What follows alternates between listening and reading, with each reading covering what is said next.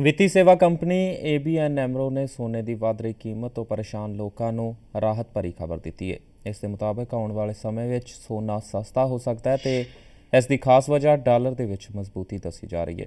ਅੰਤਰਰਾਜੀ ਬਾਜ਼ਾਰ ਵਿੱਚ ਕੱਚੇ ਤੇਲ ਦੀ ਘਟਦੀਆਂ ਕੀਮਤਾਂ ਅਤੇ ਅਮਰੀਕੀ ਅਰਥਵਿਵਸਥਾ ਵਿੱਚ ਸੁਗਾਰ ਦੇ ਕਾਰਨ ਡਾਲਰ ਦਾ ਹੋਰਨਾਂ ਕਰੰਸੀਆਂ ਨਾਲੋਂ ਵੱਧ ਮਜ਼ਬੂਤ ਹੋਣਾ ਦੱਸਿਆ ਜਾ ਰਿਹਾ ਹੈ। ਦੀਵਾਲੀ ਦੇ ਦਿਨ ਸੋਨੇ ਦੀ ਕੀਮਤ 27850 ਰੁਪਏ ਪ੍ਰਤੀ 10 ਗ੍ਰਾਮ ਸੀ। ਇੱਕ ਪਖਵਾੜੇ ਵਿੱਚ ਇਹ 1950 ਰੁਪਏ ਟੁੱਟ ਕੇ 25900 ਰੁਪਏ ਤੇ ਆ ਗਈ ਹੈ ਤੇ ਪਿਛਲੇ 15 ਦਿਨਾਂ ਤੋਂ ਸੋਨਾ 7% ਅਤੇ ਚਾਂਦੀ 9.8% ਟੁੱਟੇ ਨੇ। ਇਹ ਵੀ ਕਿਆਸ ਲਾਏ ਜਾ ਰਹੇ ਨੇ ਕਿ ਅਗਲੇ ਸਾਲ ਤੱਕ ਸੋਨਾ 20000 ਤੱਕ ਪਹੁੰਚ ਸਕਦਾ ਹੈ।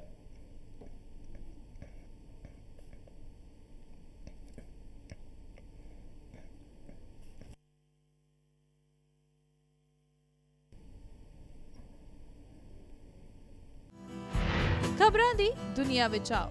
ਸਾਡੇ ਨਾਲ ਕਦੇ ਵੀ ਕਿਤੇ ਵੀ ਜੁੜੋ। ਆਪਾਂ ਮਿਲਾਂਗੇ ਫੇਸਬੁੱਕ ਤੇ। ਅਸੀਂ ਦਿਖਾਂਗੇ YouTube ਤੇ। ਸਾਨੂੰ ਫੋਲੋ ਕਰੋ Twitter ਤੇ। ਖਬਰਾਂ ਨਾਲ ਜੁੜੇ ਰਹੋ ਦਿਨ ਰਾਤ।